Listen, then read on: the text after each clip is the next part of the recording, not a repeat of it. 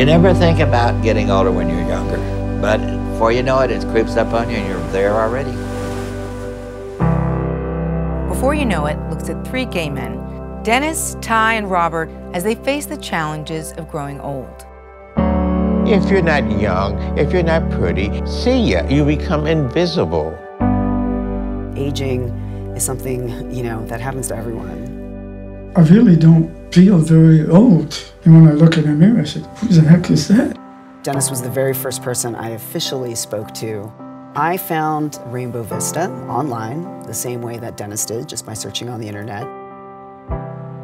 Rainbow Vista is a gay retirement facility.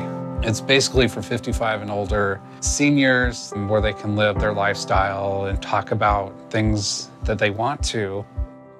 This current senior population really is kind of the living embodiment of what some people are calling the gay civil rights movement. I became very interested in SAGE, which is Services and Advocacy for GLBT Elders. We had to be able to offer people a safe space where they could come and talk about what their needs are. And since at this point I was looking at a senior active living facility, and now I was looking at a community organization, it was also really important for me to think about what I considered maybe one of the very first gay communities, which is the bar scene. I arrived at Galveston in the afternoon, asked around, and by 9 p.m., I was already going into that bar, walked right in, and Robert sitting in the stool. The oldest gay bar in the state of Texas with the longest running drag show ever. Everybody's welcome as long as you're a lady or gentleman. I don't care if you're gay, or you're straight, or you're bisexual, as long as you have fun.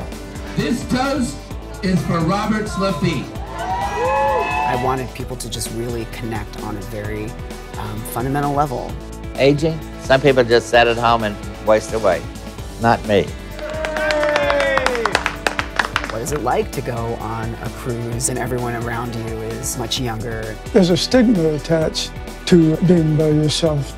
What does it feel like to set up a booth and be a little nervous that there might be some pushback there? Out of 30 some odd years of having Harlem Week, I've never seen an LGBT organization doing tabling or talking about their programs. We um, advocate for, for seniors who happen to be lesbian or gay or bisexual. Every now and then I'll get one of those like smirks, you know. The gay, the gay, don't come over to the gay. the issues of self-reflection, trying to understand who you are, that introspection and trying to express it to the world and trying to hopefully have them embrace it and be supportive of it, I do think is universal.